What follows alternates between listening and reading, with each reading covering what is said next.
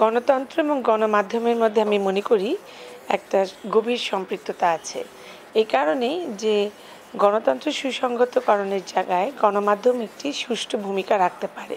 বিশেষ করে তৃতীয় বিশ্বের রাষ্ট্রগুলিতে যদি দেখা যায় যে রাজনৈতিক দলগুলি সে ধরনের ভূমিকা রাখতে পারছে না বা অনেক ধরনের সহিংসতা চলছে বা প্রতিহিংসা পরায়ণ রাজনীতি হচ্ছে, যেখানে জনগণ সঠিকভাবে নিজেকে উপস্থাপন করতে পারছে না, তখন কিন্তু গণমাধ্যম অনেক শক্তিশালী ভূমিকা রাখতে পারে এবং জনগণকে এই গণতন্ত্র সুরক্ষার জন্য এবং গণতন্ত্র যাতে থাকে, সেই প্রসেসের মধ্যে জনগণকে নিয়ে আসতে পারে। কিন্তু এই ক্ষেত্রে আর একটা বিষয় বলা উচিত যে গণমাধ্যম কিন্তু স্বাধীন। বাংলাদেশের সংবিধানে বলা আছে যে গণমাধ্যম স্বাধীন থাকবে, তারা মুক্ত চিন্তার বিকাশ ঘটাবে, মানুষ, জনগণ সেখানে তার ইচ্ছা, অনিচ্ছার কথাগুলি বলতে পারবে। কিন্তু এটা এই অর্থে নয় যে গণমাধ্যম একটা কর্পোরেট ওয়ার্ল্ডের মতো কাজ করবে, সেখানেও তাদের কিছু বিধিনিষেধ থাকতে হবে, আইন থাকতে হবে।